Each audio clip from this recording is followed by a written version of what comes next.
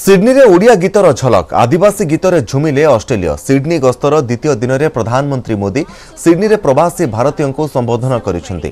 ମୋଦିଙ୍କୁ ସ୍ୱାଗତ ପାଇଁ ସିଡ୍ନୀର ଅଲିମ୍ପିକ୍ ପାର୍କରେ ଭବ୍ୟ ଆୟୋଜନ କରାଯାଇଥିଲା।